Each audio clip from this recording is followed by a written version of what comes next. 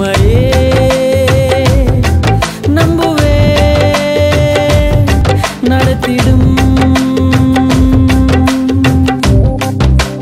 எழுப்புதல் என் தேசத்திலே என் கண்கள் காண வேண்டும்.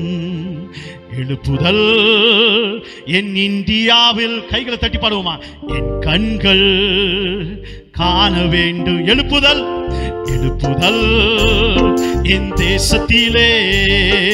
என் கண்கள் காண வேண்டும் எழுப்புதல் எழுப்புதல் என் தேசத்திலே. கண்கள் காண வேண்டும் தேவா கதறுகிறே. தேசத்தின் மேல் மனம் இறங்கும் சொல்லுங்களே தேவா கைகளை தட்டணும். யாரும் சும்மா இருக்கிறது வேண்டாம் ஓ தேசத்தின் மேல மனம் இறங்கப்பா. ஓ தேவா கதறுகிறே. தேவா கதறுகிறே. தேசத்தின் மேல் மனம் இறங்கோ. தேவா கதறுகிறே. தேசத்தின் மேல் மனம் இறங்கோ. சபைகள் எல்லாம் தூய்மையாகி சாட்சியாக வாழணுமே. சொல்லுகிறேன் சபைகள் எல்லாம் தூய்மையாகி சாட்சியாக வாழணுமே. தேவா கதறுகிறே. தேசத்தின் மேல் மனமிறங்கோ. தேவா தேசத்தின் மேல் மனமிறங்கும். தெரு தெருவா என் இயேசுவின் நாமம் முழுகணுமே முழுங்கணுமே தெரு தெருவா என் இயேசுவின் நாமம். சொல்லுங்களேன்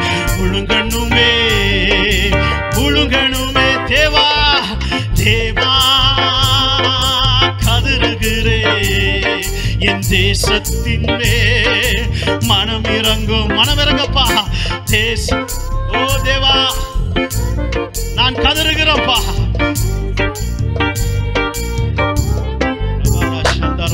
கைகளை தட்டுவோமா கைகளை தட்டுவோம். Hallelujah. கோடி மக்கள் சிலுவை தேடி ஓடி வந்து சுகம் பெறணும்ப்பா.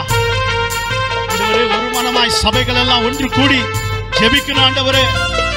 அந்த எழுப்புதல் ஆண்டவர் கடனும் கடந்து வரணும். கோடி மக்கள் அப்பா. இந்தியா தேசத்தில் உண்டு ஆண்டவர். ஆண்டவரே நன்றி ஆண்டவர். பாடுவோமா கோடி மக்கள் சிலுவையை தேடி ஓடி வந்து சுகம் பெறணும். கோடி மக்கள் சிலுவையை தேடி ஓடி வந்து சுகம் பெறணும். தேவா கதறுகிறே. தேசத்தின் மேல் மனம் இறங்கோ தேவா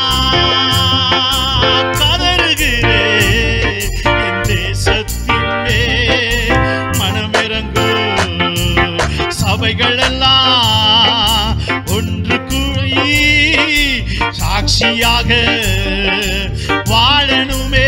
ஒரு மனமாய் ஒரு மனமாய் சபைகள் எல்லாம் ஒன்று குடி செபிக்கணுமே. தேவா தேவா கதல்கிறே தேசத்தின் இறங்கப்பா என் தேசத்து மேல மனம் இறங்கப்பா ஓ ஹலலியா துதிப்பா எல்லாரும் வாய்களை திறந்து. என் இந்தியா தேசத்து மேல ஆண்டவரே மனம் இறங்கப்பா ஓ சொல்லுங்க ஹலலுயா தேவா என் தேசத்தின் மே மனமிறங்கு அதிசயங்கள் ஆண்டவரே அற்புதங்கள் ஆண்டவரே நடக்கணும்ப்பா ஆதி சபையில நடந்தது போல் ஆண்டவரே எங்க சபையில நடக்கணும் ஆண்டவரே. ஹalleluya ஹalleluya நன்றி ஆண்டவரே. நன்றி அப்பா. கைகளை சோரங்க தட்டுங்க சோர்ந்து போகாதீங்க. ஏசப்பா துதிங்க ஓ ஆடுவோமா? ஆதிசபை. ஆதிசபை அதிசயங்களில் அன்றாடும் நடக்கணுமே. ஆதிசபை அதிசய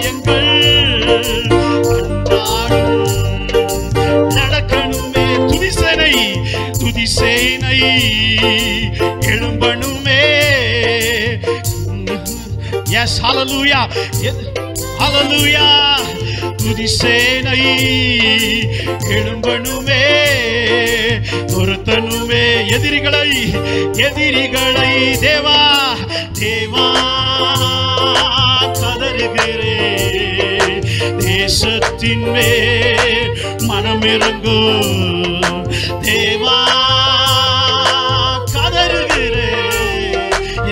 தேசத்தின் மேல் மனமிறங்கு. எழுப்புதல் எழுப்புதல். என் தேசத்திலே கண்கள் காண வேண்டும். எழுப்புதல் என் இந்தியாவில் கண்கள் காணும் எழுப்புதல் ஆண்டவரே வரணும். எழுப்புதல். ஆமாண்டவரே எஸ் எஸ் நாங்கள் வாஞ்சிக்கிறோம். இது எழுப்புதல் ஆண்டவரே. ஓ சபைகள் மேலேயும் தேசத்து மேல கடந்து வரணும்ப்பா நாங்கள் வாஞ்சிக்கிறோம். வாலிபர்கள் மேலே ஆண்டவரே. ஓ ஒவ்வொருத்தர் மேலேயும் ஆண்டவரே. உமது ஊழியக்காரர்கள் மேலே வரணும் ஆண்டவரே. எஸ் லோ ஹalleluya ஆண்டவரே அப்போஸ்தலர் நாட்களில் ஆண்டவரே. ஹalleluya அந்த ஐந்து விதமான ஊழியங்கள் ஆண்டவரே. எஸ் சபைக்குள்ள கடந்து வரணும். அது எழுப்புதல் ஆண்டவரே. ஜாதி மக்கள் ஆண்டவரே. எல்லா மக்களும் ஆண்டவரே பக்கமா திரும்ப ஆண்டவரே ஓ அநேக மக்கள் ஆண்டவரே உம்மை அறியாது இருக்கிற மக்கள் ஆண்டவரே ரட்சிக்கப்படணும் எழுப்புதல் ஆண்டவர் அந்த காரியங்கள் ஆண்டவரே. எங்க தேசத்துல வரணும் அப்பா. நீர் கொண்டு வாங்கப்பா பாடுவோமா? ஹalleluya தேசத்திலே கண்கள் காண வேண்டும். எழுப்புதல் எழுப்புதல் என் இந்தியாவில். கண்கள் காண வேண்டும். பிரைஸ் லார்ட் குட் மார்னிங் தேவனுக்கு மகிமை உண்டாகட்டும். நண்பரே மத்த இருபத்தி ஆறாம் அதிகாரத்தை நம்ம தியானிப்போம். இந்த அதிகாரம் தொடங்கி முடியும் வரை வரும்போது அவருடைய சரித்திரம் இயேசு கிறிஸ்துனுடைய லைஃப் அவருடைய ஒவ்வொரு காரியத்தையும் பார்த்து கொண்டே வருகிறோம் இப்போ இந்த கடைசி கட்டத்துல இந்த உலகத்தில் அவர் இருந்த சில மாதங்கள் வாரங்களில் நடந்த சம்பவங்களை நம்ம உன்னித்து கவனிக்கும் போது ஒவ்வொன்றும் நமக்கு உற்சாகமும் விசுவாசத்தில் உறுதியா இருக்க உதவியா இருக்கு ஆண்டவர் வந்து பிரசங்கம் முடித்து அவர் என்ன செய்யறாராம் குஷ்டரோகியா இருந்த சீமோன் வீட்டுல இருக்கிறாராம் தங்கி இருந்தார் இதை கேள்விப்படும் போது ஆண்டவர் ஒவ்வொருவரை சமமாய் பார்க்கிறார் என்பது நமக்குள்ள தோன்றுகிறது. நாம் எப்படி இருக்கிறோம்? அவரை போல அவரை வணங்குற நாம் அவரை விசுவாசிக்கிற நாம் நாம் ஸ்டேட்டஸ் பார்க்கிறோம். இங்கே போலாமா? இங்கே போக கூடாதா எங்களோட பேசலாமா? எங்களோட பேசக்கூடாதா? எங்களோட சேரலாமா? எங்களோட சேரக்கூடாதா? என்பதை நாம் பார்த்து நாம் செயல்படுகிறோம். தேவன் அப்படி பார்த்து இருந்தா பூமிக்கே வந்திருக்க மாட்டார். அவர் எல்லாரும் நேசிக்கிறார். எல்லாரும் சமமா பார்க்கிறார். அது மாத்திரம் இல்லைங்க அவர் அவங்க வீட்டுல தங்கி போஜனம் பண்ணும்போது ஒரு ஸ்திரீ வந்து என்ன செய்தாங்களா? பார்ப்போமா? மத்த இருபத்தி ஆறு ஏழு. ஒரு ஸ்திரீ வெளியேற பெற்ற பரிமள உள்ள வெள்ளைக்கல் பரணியை கொண்டு வந்து அவர் போஜன பந்தி இருக்கும் போது தைலத்தை அவர் சிரசின் மேல் ஊற்றினார். அதை பார்த்த உடனே சிந்தனை நாம் கூட இப்படிதான் கேஸ் பண்ணுகிறோம் இல்லையா? நமக்கு தோன்றுகிற சிந்தனைப்படி நீங்க இப்படி செய்திருந்தா நல்லா இருக்கும் இப்படி செய்யக்கூடாது இது மாதிரி இருக்கக்கூடாது. நம்ம அநேக அஹ், குடும்பங்களிலும் நண்பர் மத்தியிலும் சபைகளிலும் நம்ம ஆலோசனை சொல்லுகிறோம். இதே போலதான் அவருடைய சீஷர்களும் சொன்னாங்க ஏன் இந்த ஸ்ரீ வேஸ்ட் பண்ணிட்டாங்களே? இந்த விலை உயர்ந்த தைலத்தை வேஸ்ட் பண்ணிட்டாங்களே? அப்படின்னு நம்மளை போல அந்த மாம்சமான சிந்தனையில சொன்னாங்க. ஆனா அவருடைய சிந்தனை எப்படி இருக்கா? பத்தாம் வசனம். இயேசு அதை அறிந்து அவர்களை நோக்கி நீங்கள் இந்த ஸ்திரியை ஏன் தொந்தரவு படுத்துகிறீர்கள் என்னிடத்தில் நற்கிரியை செய்திருக்கிறாள். She has done a beautiful thing to me. நற்கிரியை செய்தால் தேவனுடைய பார்வையில் அப்படி இருக்கு. ஆக்சுவலா இவங்க செய்ய வேண்டிய செய்ய வேண்டியவங்க செய்யல. தேவன் யாரை கொண்டாவது சித்தத்தை நிறைவேற்றுவார்? இந்த காரியத்தை உலகமெங்கும் பிரசங்கிக்கப்படணும். ஆமாங்க. அவர் மறிக்க போறார். ஒரு இந்த முதல் வசனத்துல இருந்து பார்க்கும்போது ஏசு கிறிஸ்துக்கு பின்னாடி ஒரு சதி நடந்துன்னு இருக்கு இவர் எப்படியாவது கொலை செய்யணும்னு சொல்லி. அவங்க செய்து அவங்க பிளான் படி செய்ய அவங்களால கூடாமல் போக சான்ஸ் இருக்கு. ஏன்னா இவர் நினைத்தால் பல தூதர்களை ஒரு வார்த்தை சொன்னால் அந்த பிளான் எல்லாம் எல்லாம் போயிட்டு இருக்கும் தேவாதி தேவன் அவர். அவங்க என்ன செய்யறாங்க பிளான் என்பது இவருக்கு கிளியரா தெரியுது. ஆனாலும் அவங்க மேல ஒரு கோவப்படலைங்க. பயந்தும் போல. மனிதர் நாம் தான். நமக்கு ஒருத்தர் நன்மை செய்யறாருன்னா நேசிக்கிறோம். தீங்கு செய்யறாருன்னா அவங்களை வெறுத்து விடுகிறோம். தெய்வ குணம். அவரை நேசிக்கிறோம் ஃபாலோ பண்ற நாம் உள்ளத்தில் ஒரே போல இருக்கணும். தேவன் வந்து அவர் அந்த பதினோராம் வசனம் தரித்திரர் எப்போதும் உங்களிடத்தில் இருக்கிறார்கள்? நானோ எப்போதும் உங்களிடத்தில் இரேன் அதற்காக தான் அந்த சிறி செய்ததை அங்க இன்றைக்கும் நம்ம யோசிக்கிறோம். தேவனுக்காக நீ எது செய்தாலும் பனிரெண்டாம் வசனம் இவள் இந்த தைலத்தை என் சரீரத்தின் மேல் ஊற்றினது என்ன? ஊற்றினது. என்னை அடக்கம் பண்ணுவதற்கு ஏத்தமான செய்கையா இருக்கிறது இவள் இந்த தைலத்தை என் சரீரத்தின் மேல் ஊற்றினது என்னை அடக்கம் பண்ணுவதற்கு ஏத்தமான செய்கையா இருக்கிறது பிரதான ஆசாரின் இடத்திற்கு போய் நான் இயேசுவை காட்டி கொடுக்கிறேன். எனக்கு என்ன கொடுப்பீங்க? நாம் கூட இது போல குணமுள்ளவர்களா இருக்கிறோம் எனக்கு என்ன கிடைக்கும்? நான் ஊழியத்துக்கு போறேன். எனக்கு என்ன கிடைக்கும்? இதை நான் செய்யறேன். எனக்கு என்ன கிடைக்கும்? நாம் இப்படி கேட்டு கேட்டே சாபத்தை வாங்கிக் கொள்கிறோம். இந்த மனிதன் பிறவாதிருந்தால் நல்லமா இருக்கும் தேவன் சொல்கிறார். கஷ்டமான நிலைமைக்கு யூதாஸ் காரியர் போய்விட்டான். நம்முடைய லைஃப்ல கூட சிலதை எதிர்பார்த்து செய்கிறோம். அது எதற்காக செய்கிறோம்? நீங்க எதிர்பார்ப்பதை விட நாம் செய்கிற காரியம் அதிகமான மகிமை தேவனை அந்த மகிமைக்கு ஒப்பாக நாம் நினைத்து சிறிய காரியங்களுக்காக ஆசைப்படுகிறோம். இவைகளெல்லாம் நிரந்தரம் இல்லை என்பதில் எந்த ஒரு சந்தேகம் இல்லை. அதுக்கு தொடர்ந்து நம்ம வாசிக்கும் போது முப்பது வெள்ளிக்காசு ஆசைப்பட்டு அவர் தேவனை காட்டி கொடுக்கிறார். இது ஆனது பந்தி இருக்கும்படி அவங்க பிளான் பண்றாங்க. எல்லாரும் அந்த பந்தியில இருக்காங்க. அப்போ இது தேவன் சொல்றார் உங்களில் ஒருவன் என்னை காட்டி கொடுப்பான் என்று சொல்லி. அப்போ இதெல்லாம் துக்கம் அடைந்தாங்களாம். ஐயோ நானா நானா? ஆண்டவரே நான் எப்படி உங்களை காட்டி கொடுப்பேன்? அந்த பாசத்தை வெளிப்படுத்துறாங்க. இத்தனை வருடம் உங்களோட இருந்தனே. நான் அப்படி சொல்லுவேனா? என்ற உண்மையான ஒரு கேள்வி ஒவ்வொரு சீஷர்களும் கேட்டார்கள். அப்போ இது இந்த யூதாசும் கேட்கிறார். அது பாருங்க அவர் பிரதான ஆசிரியரிடத்தில் பேசிட்டு அதுல இருந்து அவர் ட்ரை பண்றார். எந்த நேரத்துல காட்டி கொடுக்கலாம் முயற்சியோடு இருக்கிறார். ஆனா இவங்களோடு சேர்ந்து ஜெபிக்கிறதும் ஊழியம் செய்கிறதும் அப்படிதான் இருக்கிறாருங்க இந்த யூதாஸ் போல உள்ளங்கள் நம்மளும் கூட கூடவே இருப்போம். சிந்தனை வேற மாதிரி. முன்னாடி ஒண்ணு பேசும் பின்னாடி ஒண்ணு. ஒரு நாடகமாய் ஒரு ஆக்டிங் கிறிஸ்டவங்களா தான் நம்ம இருக்கோம் யூதாஸ் வந்து காட்டி கொடுக்கவும் பேசிட்டாரு. இங்க வகையும் தேடுகிறார். தேவன் அறிந்தவர். ஆண்டவரே நானா? ஆமா. மத்த இருபத்தி ஆறு இருபத்தி ஐந்து அவரை காட்டி கொடுத்த யூதாசும் அவரை நோக்கி ரபி நானோ? என்றான். அதற்கு அவர் நீ சொன்னபடித்தான் என்றார். எவ்வளவு ஒரு பொறுமை பாருங்க. காட்டி கொடுக்கறான்னு தெரியுது. ஆனாலும் அவர் ஒரு போதும் அவர் வெறுக்கல. அவரை அவர் எதுவுமே கேட்கல. ஆமா. இந்த மனது நாம் வைத்திருந்தால் எவ்வளவு நன்மையா இருக்கும். இந்த மனதை போல நாமும் முயற்சி எடுப்போம். பந்திருக்கிறாங்க எல்லாம் முடிந்த பின்பு அவர் சொல்லுகிறார் இருபத்தி எட்டாம் வசனத்துல இது பாவம் மன்னிப்பு உண்டாகும்படி அநேகருக்காக சிந்தப்படுகிற புது உடன்படிக்கைக்குரிய என்னுடைய ரத்தமா இருக்கிறது. ஆமாங்க. பாவம் மன்னிப்புக்காக அவர் நமக்காக சிந்தப்பட்ட ரத்தத்தை குறிக்கிறது. முப்பதாவது வசனம் அவர்கள் ஸ்தோத்திர பாட்டை பாடின பின்பு ஒளிவமலைக்கு புறப்பட்டு போனார்கள்.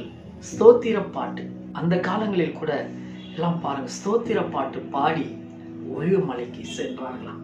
எப்படி பாடியிருப்பாங்க? எல்லாரும் ஒன்னா சேர்ந்து அவரை ஆஹ், ஸ்தோத்திரம் பாட்டு பாடி தேவனை மகிமைப்படுத்தி இருப்பார்கள் ஆமாங்க நாமும் சபைக்கு போறோம் ஒரு குடும்ப சபை வைக்கிறோம் ஒரு மீட்டிங்கு போறோம். எல்லாரும் சேர்ந்து பாடினா அதுல ஒரு இனிமையா இருக்குங்க. அது தேவனுக்கு மகிமையா இருக்கும். யாரோ பாடுறாங்க யாரோ செய்கிறாங்க நம்ம மீட்டிங்கில் அமர்ந்தும் சர்ச்சில் இருந்தும் கூட நம்ம சிந்தனை எங்கோ இருக்கும்.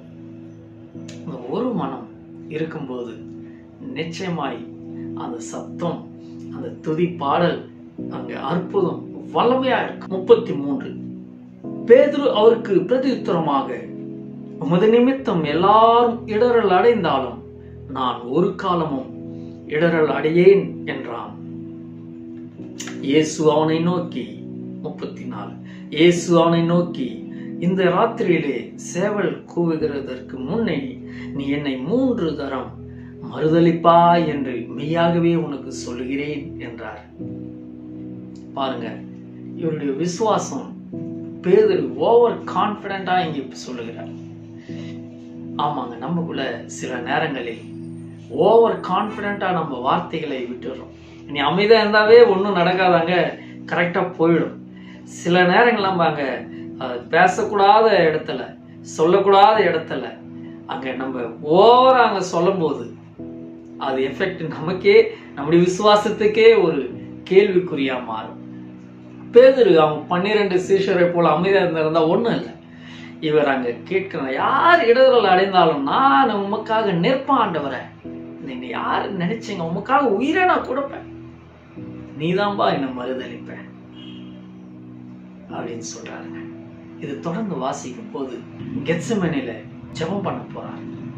அவர் ஜெபம் பண்ண போது அவங்கள சீஷரெல்லாம் வர்றாங்க வந்தாலும் அவர் மூன்று பேரை தனியாய் கூப்பிடுகிறார். பேதுரு யோவான் யாக்கோபு நாம் கூட தேவனோடு இருக்கும்போது இந்த ஜெபம் என்பது அவர் துக்கம் அடைந்தாராம் வியாகுலப்பட்டாராம். அவர் பிதாவின் இடத்துல ஒரு பக்கம் அவர் வரப்போற கஷ்டத்தை குறித்து இருக்கார்.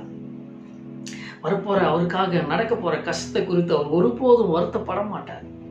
ஆனா அந்த எங்களோடு இருந்த மனிதர்களை அவரோடு இணைந்து இருந்தார்களா? அவரை விட்டு அவர் போக போறார். அவரை விட்டு போக போறார்.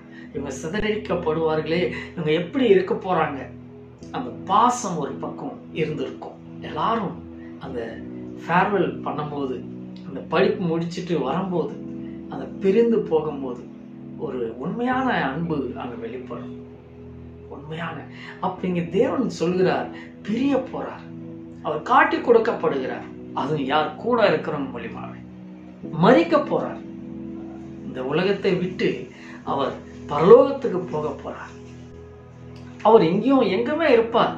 ஆனா சரீர ரீதியாய் அவர் ஜெபம் பண்ணிட்டு திரும்பி வருகிறார். என்ன நடக்குதா? அவர் திரும்ப வந்தபோது அவர்கள் மறுபடியும் நித்திரை பண்ணுகிறதை கண்டார். அவர்களுடைய கண்கள் மிகுந்த நித்திரை மயக்கம் அடைந்திருந்தது. அவர் மறுபடியும் அவர்களை விட்டு போய் மூன்றாம் தரமும் அந்த வார்த்தைகளை சொல்லி ஜெபம் பண்ணினார். அந்தவரை சித்தமானால் பாத்திரம் நீங்கட்டும். பிதாவோடு பேசி கொண்டிருந்தார்கள். இவங்களோ நித்திரையோடு இருக்கிறார்கள். நாம் கூட சிலர் உண்மையாய் ஜெபித்து கொண்டிருப்பார்கள். அங்கேதான் நம்ம இருப்போம். ஆனா நாம் நித்திரை மயக்கமாய் நம்ம இருப்போம். ஒரு உண்மையான உள்ளத்தில் பாரம் இருக்கும்போது இந்த சரீரமும் இந்த ஆவியும் போராடும் போது எது ஜெயிக்கும் எது எது முக்கியமான நம்ம தருகிறோமோ அதுதான் ஜெயிக்கும். ஒரு உண்மையான பாரத்தோடு ஜெபிக்கும் போது சரீரம் மேற்கொள்ளாது. நான் பாரம் இல்லாத ஜெபிக்கும் போது தூக்கம் வந்துடும் ஆமாங்க. தேவன் பாரமாய் ஜெபித்து கொண்டிருக்கிறார். தன்னோடு இருக்கிற சீஷர்கள் தூக்கம் மழக்கமா இருக்கிறார்கள். நெக்ஸ்ட் பார்க்கும்போது யூதாஸ் வந்து முத்தம் கொடுத்து காட்டி கொடுக்கிறார். உங்களுக்கு எல்லாமே தெரியும். நம்முடைய எண்ணங்கள் இந்த அதிகாரம் முழுவதும் பார்க்கும்போது நமக்காகத்தானே அவர் பாடுகளை அனுமதிக்கிறார். அவர் நினைத்திருந்தால் ஒருவரும் கூட அவருக்கு முன்னால் நிற்க எந்த ஒரு மனிதனுக்கும் பலன் இல்லை. தைரியமும் இல்லை. ஆனாலும் நமக்காக அவர் அடிக்கப்பட்ட ஆட்டை போல இருந்தாராம். கோவப்படாம பயப்படாம அவர் மனிதனாகவும் தேவனாகவும் அவர் வாழ்ந்து காட்டினார். கொண்டு போறாங்க. ஒவ்வொரு அந்த நியாய தீர்ப்பு நடக்கிறது. ஒரு பக்கம் யூதர் ஒரு பக்கம் அவர் மேல பழி சுமத்துறார்கள் மறு ஒரு பக்கம் பிரதான ஆசிரியர்லாம் தேவதோஷனம் செய்கிறார். நான் பிதாவோடு அமர்ந்திருப்பேன்னு சொன்னா சட்டைகளை கிழித்து கொண்டு ஐயோ தேவதூசனம் அப்படின்னு சொல்றாங்க. இதெல்லாம் மனிதர்கிட்ட தாங்க ஒரு ஆக்டிங் பண்ணுகிற அந்த பிரதான ஆசிரியர்கள்லாம் தேவனே அவருக்கு முன்னா இருக்கிறார் ஆனால் அவங்க கண்களுக்கு மறைக்கப்பட்டு இருக்கிறது ஒருவேளை நாம் கூட தேவனுடைய வல்லமையை உணராமல் நம்ம கண்களுக்கு மறைக்கப்பட்டு இருக்கிறதா தேவனே என் மனக்கண்களை திறந்தருளும். உடைய சித்தத்தை நிறைவேற்றும். ஜபம் இப்படியா இருக்கணுங்க. தொடர்ந்து வாசிக்கும் போது மு- அறுபத்தி ஏழாம் வசனம். அப்பொழுது அவருடைய முகத்தில் துப்பி அவரை குட்டினார்கள். சிலர் அவரை கன்னத்தில் அரைந்து கிறிஸ்துவே உம்மை அடித்தவன் யார்? அதை ஞான திருஷ்டியினால் எங்களுக்கு சொல்லும் என்றார்கள். இது ஒரு பக்கம் நடந்துட்டு இருக்கு. இது எல்லாரும் பார்த்து நிற்காங்க ஏன்? கூட அந்த சீஷர் கூட ஒளிந்து தூரத்துல இருந்து பார்க்கறாங்க ஒரு ராஜா மாதிரி அற்புதம் செய்தவரே. எவ்வளவு ஒரு மேன்மையாய் மகிமையாய் பேசினவர். அவருக்கு இந்த மாதிரி நடக்கும்போது ஏன் என் தலைவருக்கு என்னுடைய லீடருக்கு என்னுடைய தேவனுக்கு நடக்கும்போது என் முன்னவே நடக்கும்போது ஐயோ இதை நான் பார்க்கணுமா? வேதனை அடைந்திருப்பார்கள் சீஷர்கள். துக்கம் அடைந்திருப்பார்கள். ஒருவேளை தேவன் அவர் அவமானமாய் அவர் எவ்வளவு உள்ளத்தில் உடைந்திருப்பார். சகித்தார். ஏன் தெரியுங்களா? நாம் தேவனுக்காக நிற்கணும்னு சொல்லி. கடைசி வசனம் இப்படியா சொல்லுகிறது. அப்பொழுது பேதுரு சேவல் கூவுவதற்கு முன்னே நீ என்னை மூன்றாம் தரம் மறுதளிப்பா என்று இயேசு தன்னிடத்தில் சொன்ன வசனத்தை நினைத்து கொண்டு வெளியே போய் மனம் கசந்து அழுதான். ஆமாங்க. ஒவ்வொரு கிறிஸ்தவர்களும் இரண்டு காரியங்கள். பேதரும் தவறு செய்தார். இஸ்கரேத்து யூதாவும் தவறு செய்தார். இருவரும் மனம் கசந்து அழுதார்கள். ஆனா மனம் திரும்பினது பேதுரு தான் டியர் ஃப்ரெண்ட்ஸ் நீங்க நினைத்த காரியங்கள் பாவங்களை நினைத்து கண்ணீரோடு இருக்கிறாயா? மனம் கசந்து துக்கப்பட்டு அப்படியே முடிந்து போக இல்லைங்க. மனம் திரும்பும்படி தேவன் எச்சரிக்கிறார். தொடர்ந்து பேதுரு தேவனுக்காக நின்றார். மனம் திரும்பினார். யூதாசு மனம் திரும்பவில்லை மறித்து போனார். நாம் எப்படி இருக்கோம்? மனம் திரும்புவோம் தேவனை மகிமைப்படுத்துவோம். அன்பின் பரலோகத்தின் நல்ல பிதாவை இந்த அற்புதமான வேலைக்கு நான் நன்றி செலுத்துகிறேன். நடந்த கடைசி இரவு அந்த நேரத்தில் நீங்க தங்கி இருந்த பூமியில் அப்பா நடந்த ஒவ்வொரு சம்பவத்தை பார்க்கும்போது எனக்காகத்தானே எங்களை ஏற்றுக்கொள்ளும். நாங்கள் மனம் திரும்பும்படித்தானே நீங்கள் எங்களுக்காக மறித்தீர். எங்கள் உண்ணங்கள் மாற எங்கள் உள்ளங்கள் மாற உங்களுடைய சித்தத்தை நிறைவேற்ற உதவி செய்யும் இயேசுவின் நாமத்தினால் பிதாவே ஆமாம்